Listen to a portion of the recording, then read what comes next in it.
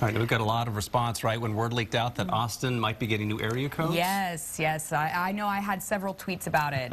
about several. why uh, several, yeah, about uh, the area code and everything changing. so- Yeah, it just doesn't seem right because Austin's been so quaint in you know one little package for so long. A lot of people have been up in arms, so a lot of people too are uh, really expressing themselves on what they think about the 737. 737.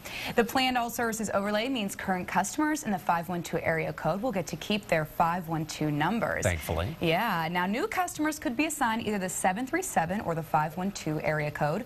Remaining available numbers in the 512 area code are forecast to last until late 2013. Just shows you how fast our, our area is Yeah. growing. So 512, 737, a lot of debate and comment on that. Hey, you can add your two cents, or your 25 cents, I guess, Mm-hmm. because you're making phone calls. Uh, 930 at the PUC, that's the Travis Building, 7th floor, 1701 North Congress. Again, that's happening this morning. All about the area code debate, and it's obviously something that we here at KXAN will be